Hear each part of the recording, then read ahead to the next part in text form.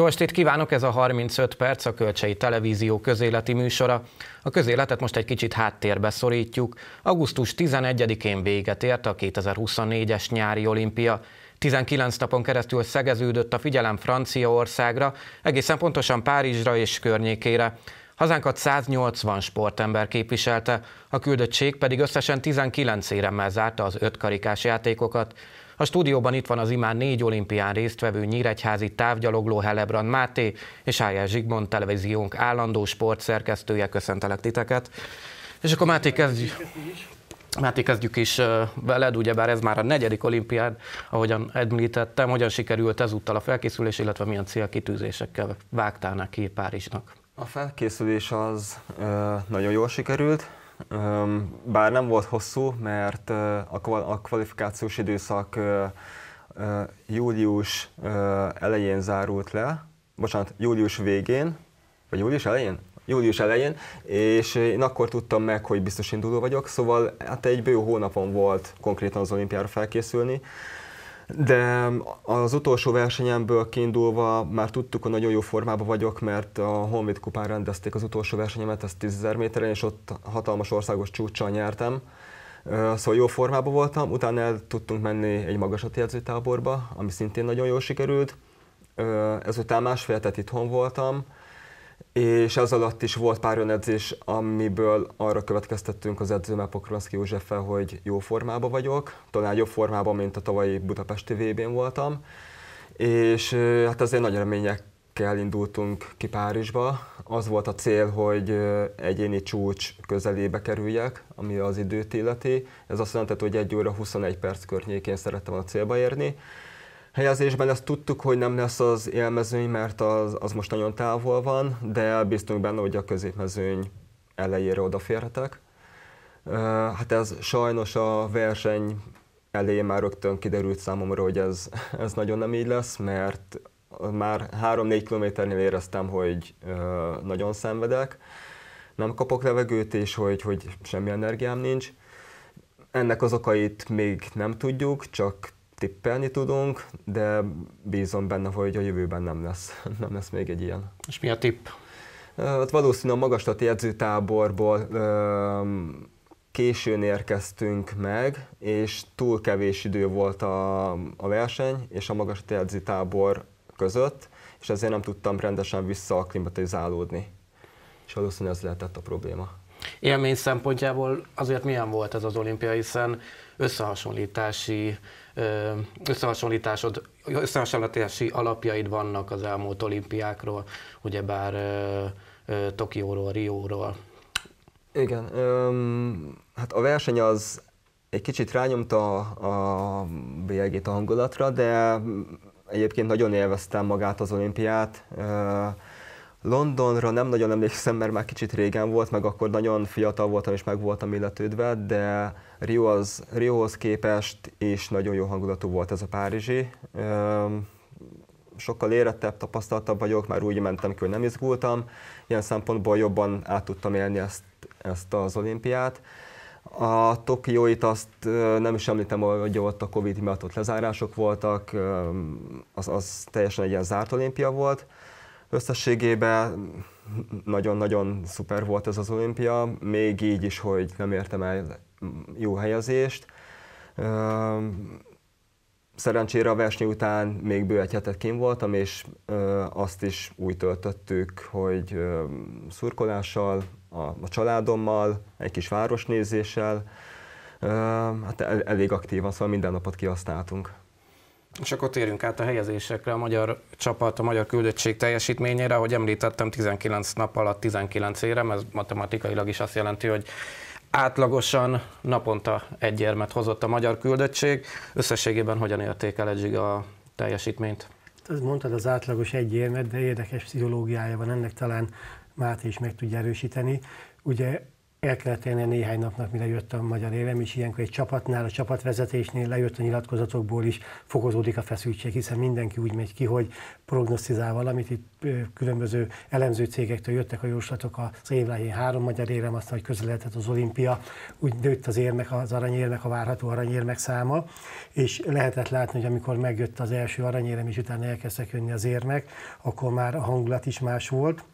Minden szempontból most már olyan világban élünk, ugye, hogy kommentelnek minden cikkhez, olyanok is, akik közel vannak a sporthoz, olyanok, akik kevésbé.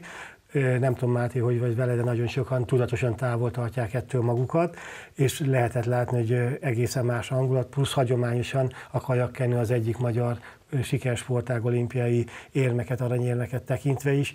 Most 7 érmet szereztek, az arany ugyan elmaradt, de hát a 19 éremnél láthatjuk, hogy a utolsó napok hogy megdobták ezt az éremtermést. Úgyhogy én összességében ezt a hat arany, hét ezüst, hat bronzérmet kifejezetten jónak ítélem meg. Hozzáteszem, hogyha a velünk ö, nagyságrendileg azonos országokat nézzük, vagy csak akár a ö, szűk ö, szomszéd országokat, akkor kiemelkedően szerepeltünk hozzájuk képest, viszont lehet ezt hosszan ellemezni, mert tűntek fel olyan nemzetek, amelyek korábban nem voltak annyira erősek az olimpiákon, most pedig nagyon sok érmet szereztek. Hozzátéve, ugye ez Európai Olimpia volt, és az európai országok eh, elmaradtak a korábbi éremszámtól, nagyon dominánsak a ázsiaiak, amerikaiak ugye mindig azok voltak, dél-amerikák, és komolyan bejelentkeztek az afrikaiak is.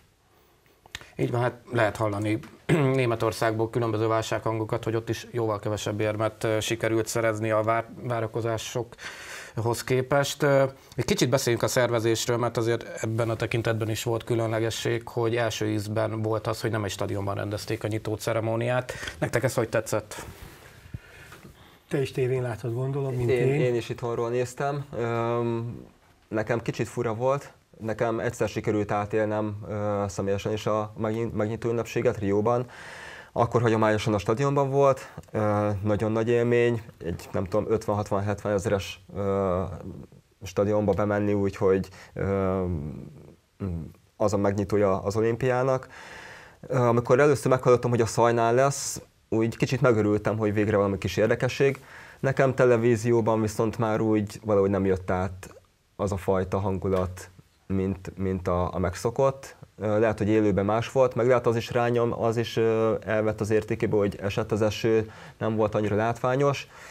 Hát egy stadionnak van egy olyan feeling, hogy a felvonnak a csapatok ott maradnak. Itt pedig azt lehetett látni, hogy a tribünök előtt elúztak, látták egy picit a csapatokat, és jött a következő hajó. Hozzáteszem, hogy minden rendező ország, város, pontosabban, mert ugye városok rendeznek, próbál valami extrát plusz hozzáadni a korábbiakhoz. A mai világban rettetesen nehéz, és szó volt arról, hogy nem ott rendezik terrorveszély, a víztisztaság, aztán végül mégis megcsinálták de voltak újítások, például nekem nagyon tetszett az a harang az atlétika versenyeken, amelyet a győztesek megkongathattak, és utána majd a Notre Dame-ba kerül, azt hiszem. Igen. A záró ünnepséget nagyon látványos volt, tehát az már picit belejött az a show, amit majd Amerikában lehet várni 2028-ban, de az is szenzációs volt, nekem tetszett. Ami viszont a szervezést illeti, te személyesen tapasztaltad, az, hogy nagyon sokan féltek a esetleges terrorcselekménytől, nagyon sokan féltek, sőt minden bizonyal voltak hacker támadások is, de lehozták az olimpiát különösebb atrocitás nélkül. Én legalábbis nem tudok róla, hogy akár bárhol is történt volna olyan probléma, ami miatt hozzáteszem tízezes számú rendőrségi egység biztosította az olimpiát, a megnyitón is, azt hiszem a stadion, vagy záróünnepség stadionban 3500, kívül 30 ezer, tehát mindent megtettek, és ez a mai világban Franciaországból azért az elmúlt években sajnos tapasztalhattunk különböző terrorcselekményeket, szerintem óriási dolog. Um, én is azt tudom elmondani, hogy uh, ezzel kapcsolatban semmi probléma nem volt. Uh, általában egyébként minden olimpiánál van ilyen, ilyen veszély, hogy na majd most, meg hogy veszélyes, mert hogy terrortámadás. Rióban is ez volt, de ott is annyi rendőr volt, hogy tulajdonképpen akkor az volt a legbiztonságosabb hely a, a Földön. Szerintem most Párizsban is ez volt. Bárhova, ahol mentünk, rendőrök voltak hatalmas gépfegyverekkel, mindenhol ellenőrzések. Bárhova bementünk sporthelyszínekre vagy a faluba, mindenhol átvilágítottak, megnézték a kártyánkat. Szóval ilyen szempontból nagyon biztonságos volt. A, rendezéssel szerintem nem volt semmiféle probléma, én legalábbis nem tapasztaltam. Rengeteg turista volt, a, a sportolók miatt, meg a turisták miatt a, a tömegközlekedés, most nekünk a csapatbuszok nem mindig mentek megfelelően, ott volt egy-két csúszás, de szerintem ez, ez minden ilyen nagy világversenyen elő szokott fordulni. Szóval a szervezésre egyébként teljesen meg voltam elégedve és amit még korábban beszélgetünk, mondtad, hogy sok mindenkivel találkoztál, azért ennek a két hétnek, vagy tizegy néhány napnak van egy olyan feelingje, hogy például egy amerikai NBA sztár kiszáll egy sötétített ablakú limuzinból, bemegy a csarnokba, meccs után kijön be ő, és eltűnik, legfeljebb lepacsizik, ha megy ki a csarnokból, itt pedig mutatták, hogy ott sétáltak a faluban, ott szelfiztek, Nadáltól kezdve, Igen. nagyon sokan ö, olyanok, akik tényleg sportikonok, közös fényképet készítettek, beszédbe elegyedtek a többi sportlóval, akár a turistákkal is, tehát ez csak ez a olimpia tudja meghozni. Így van, ezért teljesen más, mint egy Európa-bajnokság vagy világbajnokság, mert ott ugye úgy vagyunk elszállásova, hogy minden ország kap egy-egy kis szállodát vagy hotelt az adott városban, és akkor onnan utazunk a verseny helyszínére, itt meg ugye ki van alakítva egy, egy olimpiai falu, körbe van zárva, és akkor ott van 15 ezer, 17 ezer ember a edzőkkel, mindenkivel együtt. Egy helyen eszünk, mindent egy helyen csinálunk, és, és ezért van egy ilyen különleges hangulata. Egyébként pont az NBA sztárok, szerintem ők pont nem laktak az olimpiai faluban, pont emiatt, hogy mindenki oda ment volna hozzájuk fényképezkedni. Azon csodálkoztam, hogy Nadal ott volt, Egyébként a spanyolok pont a magyarok mellett voltak, és szerintem azért is találkoztak olyan sokat Nadal a magyarok, Láttuk, hogy a sok kéz is feltette a, a közösség oldalakra a közös képeket. Én egy olyan nagy sztárral találkoztam, pont akkor, amikor nem tudott szegény leülni enni, mert mindenki sorba állt hozzá fotózkodni, Kipcsogéval, a maratonnak a világcsúcs tartójával. Pont az étteremben láttam, hogy hogy egy hatalmas sor áll, és egy ember van elő, és szegény állt a tálcával, ment volna enni, de előtt álltak 15-en, hogy egy közös képet kérjenek.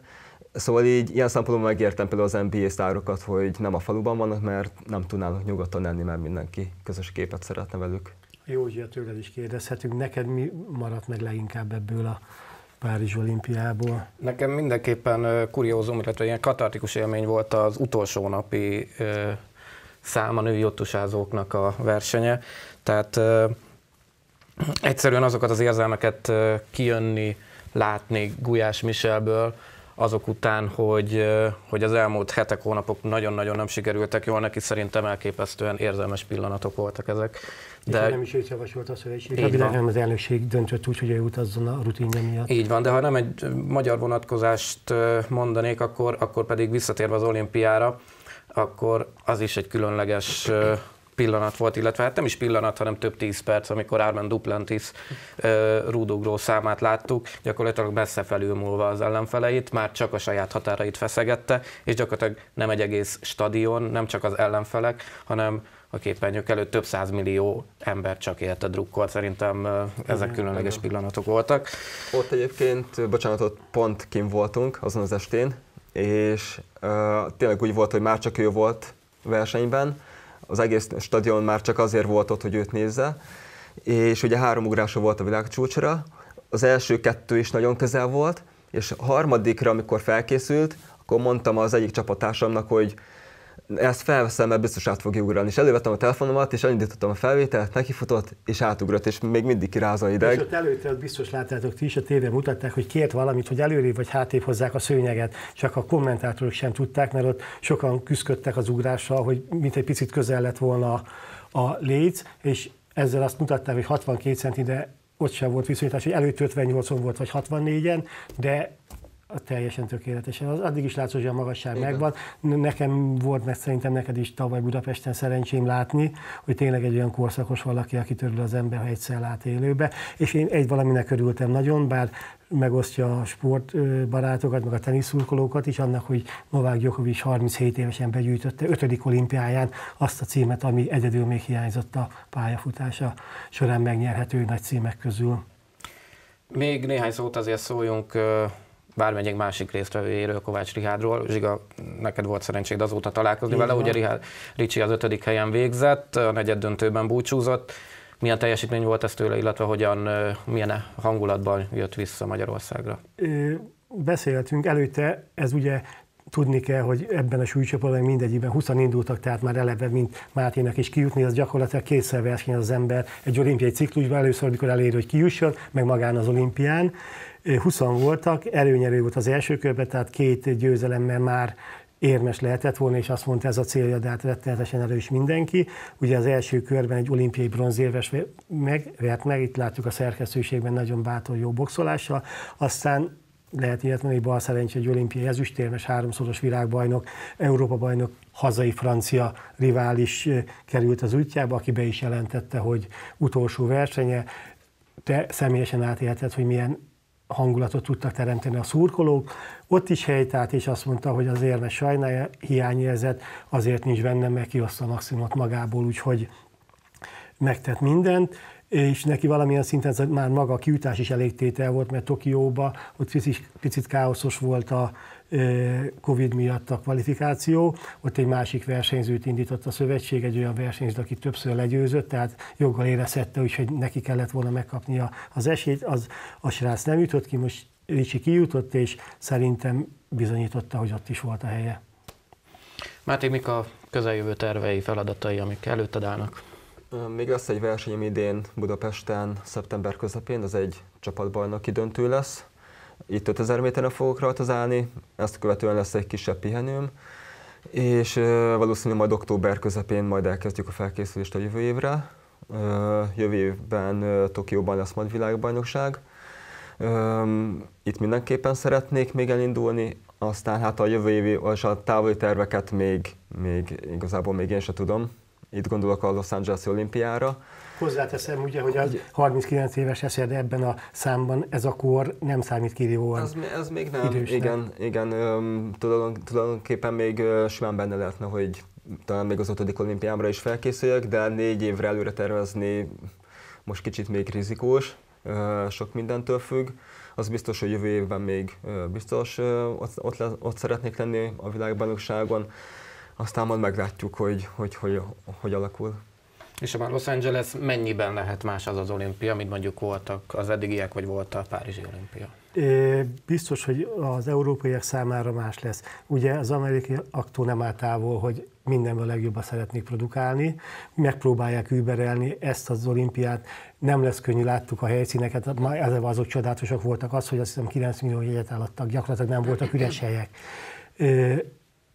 Az mindig egy rendező ország mindig egy olyan csapatot próbál kiállítani, ami nagyon sok érmet szerez.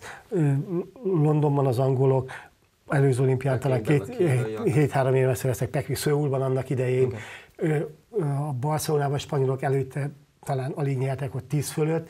Az amerikai csapat alapból erős, eleve erős, el tudjuk Igen. képzelni, milyen erős lesz, és amit mondtam, hogy az ázsiai országok, afrikai országok, közel-keleti országok írtózatos pénzeket fektetnek be, legjobb módszerekkel, oda viszik a legjobb edzőket. Egyszerűen mindenütt kérdés, is kulcskérdés lett az, hogy ez, ez a két hét olyan, amikor megmutatja magát egy nemzet a világnak, pozitív képet sugározhat magáról, és a sportolók pedig nincs mindenütt olyan életjáradékrendszer, még sőt még jutalmazási rendszer, mint Magyarországon, de sportoló számára az, hogy egy olimpián dobogóra állt, egy olimpián első lehet, örökre bevése a nevét a sporttörténelembe, úgyhogy biztos vagyok benne, hogy egy nagyszerű olimpiát rendeznek. Valamelyik nap hallottam a rádión, hogy már több ezer önkéntes jelentkezett, már toborozzák azokat a fizetett szakembereket, akik már mostantól elkezdik a szervező munkát a négy év múlva esedékes olimpiára. Tehát helyszíneket nem tudjuk. Volt szerencsém látni a 84-es olimpia helyszínét, hát az már meghaladta az idő, de biztos vagyok benne, hogy olyan létesítmények lesznek, amelyek megfelelnek majd a 2028-as kihívásoknak. Hát azt hiszem csak néhány nap telt még el a Párizsi olimpia vége óta, de már most hiányzik ez a fajta hangulat, ez a fajta életérzés. Máté, sok sikert kívánok, köszönöm szépen mindkettőtöknek a beszélgetést. Köszönöm, köszönöm szépen. Kedves nézők, műsorunk elején azt mondtam, kevesebb lesz a közélet, de azért ki nem marad. Egy visszatekintő következik. Műsorunk május elsőjei részéből láthatnak részletet. Gál Tamás kérdezte Tajti Pétert, Passzapp polgármesterét a település aktualitásairól. Rendkívül eredményes volt Paszab az elmúlt évek során a Magyar Falu program pályázataiban. Számos fejlesztés megvalósult, ami jelentősen szépítette a településképet, és új szolgáltatásokat adott a helyiek számára. Az elmúlt évek történéseiről, beruházásairól, a közeljövő terveiről kérdezem most Ajti Pétert, Paszab polgármesterét. Jó estét kívánok, polgármester úr! Hogyha valaki öt évvel ezelőtt meglátogatta volna Paszabot, és most, akkor nagy különbséget látna? Hát szerintem meglepődnének nagyon sokan. Tehát ez az elmúlt öt év, ez, ez tényleg kimagasló volt a település fejlődésében, hiszen olyan a Magyar Falu programnak elsősorban annak köszönhetően nagyon sok intézményünk, útjaink újultak meg, illetve a legfontosabb az volt, hogy nem csak a Magyar Falu, hanem a top pluszos pályázatokban a bölcsődénk is megépülhetett négy és fél évvel ezelőtt, ami egy óriási fejlődést mutat a településen, illetve a, a településen élők számára a helyben tartás, tehát nem költöznek el, a település száma nem hogy csökken, hanem növekszik. Beszéljünk akkor szépen sorjában például az úthálózatról, hát ha jól tudom, akkor az is azért eléggé jelentősen megújult. Igen, azt tudom mondani nagyon büszkén, hogy a településen az önkormányzati utaknak a szinte a 90%-a 5 évnél nem régebbi, tehát mindet a Magyar Falu programnak köszönhetően, illetve... Ez eléggé nagy szó. Nagyon nagy, tehát én azt gondolom, hogy ez egy óriási előrelépés, hiszen, hiszen a településen élőknek nagyon fontos az úthálózat, hogy az teljesen rendben legyen, meg nem beszélve arról, hogy a település képet is úgy tudja formálni, hogy ami mindenképpen előre mutató, és még úgy tudjuk, bár tervek vannak, hogy a település főutcája, ami állami út, azt is fel fogják újítani idén, ezen a nyáron. Na nézzük az intézményfejlesztéseket. Hát a bölcsőde 2019 környékén jött létre? Igen. 2019-ben ez egy kétcsoportos, 24 férőhelyes bölcsőde. Én azért vagyok erre nagyon büszke, mert egy 1500 fő alatti településen az, hogy van egy 24 férőhelyes bölcsőde.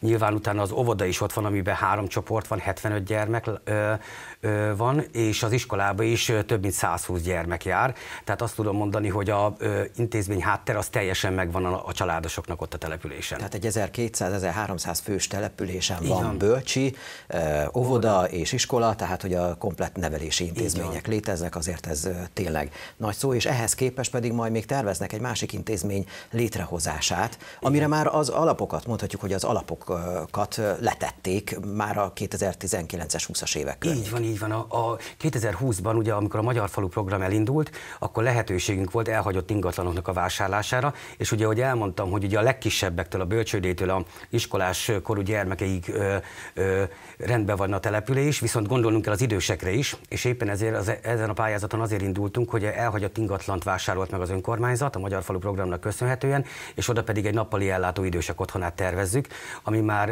benyújtott pályázat, és a döntésre várunk. Tehát, és akkor itt tulajdonképpen a legkisebbektől a legidősebbekről is tudunk gondoskodni.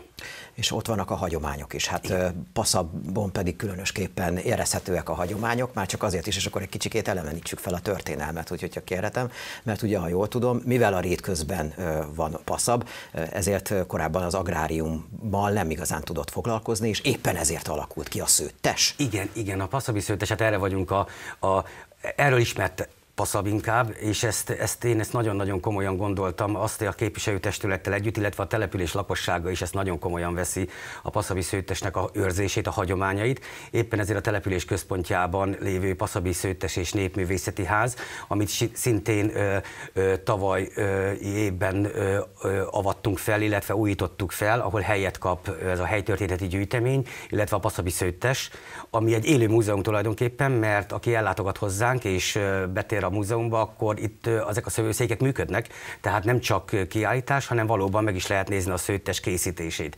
Nagyon örültünk annak, hogy a megyei értéktárba felkerült a passzabi szőttes, és ez a település teljesen meghatározza, hiszen a gyerekek az iskolába is vannak szövőszakkörök, tehát ők ezt folyamatosan életben tartjuk, és tudják azt, hogy miről is híres passzab.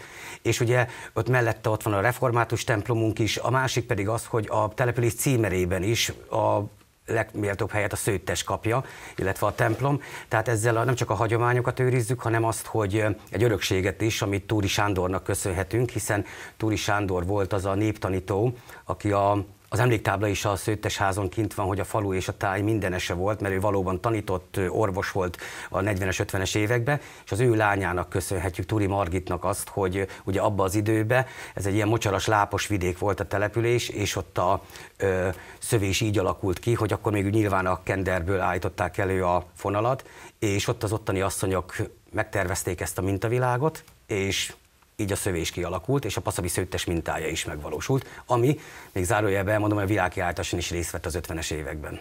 És egy könyvet is Igen. létrehoztak, készítettek? Igen, nagyon nagy vágyunk volt az, hogy, hogy a településről szóljon egy könyv, és ebbe nagyon nagy munkát vállalt Túri Sándornak az unokája, Túri Gábor, aki a Paszabi néptanító, a Paszabi tanító című könyvet megírta, és most már ez meg is jelent, ennek meg volt a könyv bemutatója is pár hónappal ezelőtt. Itt is volt a megyei könyvtárban is volt meg, illetve az ő munkásságát dolgozza fel, illetve a passzabiaknak az életét a, abba az időből, a múlt századból. És hogy még egy kicsikét maradjunk a hagyománynál, én ezt úgy azért fontosnak tartanám megemlíteni a nézők számára, szerintem kevésbé köztudott, hogy azért elmondhatjuk ön Tajti Péter, tehát a Tajti, Tajti család azért ott van a településért aktívan tevékenykedik kereskedők között, és az ön nagymamája pedig bölcs óvoda alapító, óvoda alapító volt. Igen. Hát az az igazság, hogy én ebbe beleszülettem, és, és tényleg így minden ö, ö, ö, szerintelenség ö, igen, szerintelenségtől eltekintve a név kötelezett arra, hogy, hogy én a településért dolgozzak, hiszen tényleg a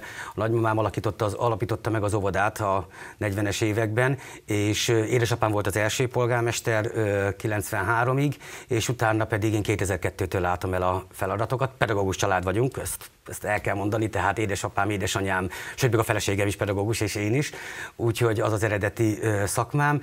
Tehát én ezt nagyon magaménak érzem, ezt a települést, és én azt gondolom, hogy, hogy, hogy így van gazdája, hogyha a hagyományokat megőrizzük, meg illetve a további fejlesztéseket is ebbe a szemből közelítjük meg. Na, beszéljünk akkor a további fejlesztésekről, mert hogy egy rekordtámpályát, sportpálya Igen. rekordtámpályát is szeretnének létrehozni. Igen, hát ugye a fiataloknak nagyon nagy szerencsénk volt azzal, hogy a Máltai Szeretett Szolgálat és az MLS közösen kiírt egy, illetve az MLS kiírt egy közösen egy pályázatot, ami azt jelenti, hogy egy rekordtán épülne meg, és azt a Máltai Szeretett Szolgálattal közösen együttműködve a településnek azon részén, ahol hátrányos helyzetű gyermekek élnek, és ott lenne ez a nagy arányú fejlesztés, azért ez egy közel 86 milliós rekordtámpálya lesz, ami meg fog épülni az idén.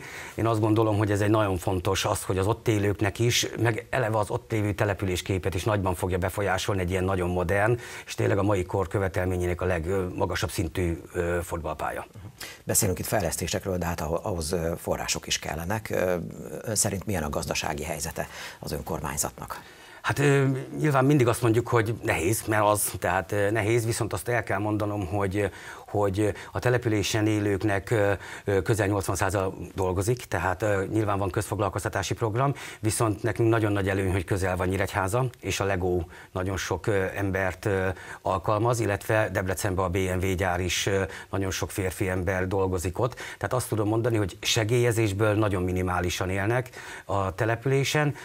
Nyilván akik meg vannak, azokat meg a közfoglalkoztatásban mi segítünk, de nem csak úgy segítünk, hogy munkahelyet adunk, hanem ez az önkormányzatnak is nagyon jó dolog, hiszen mezőgazdasági startmunkaprogramunkban szinte önellátó a település, tehát mindent a óvoda, illetve az intézmények konyhájára mi termeljük meg, azoknak az embereknek a segítségével, akik a közfoglalkoztatásban dolgoznak. Milyen az együttműködés a többi településsel?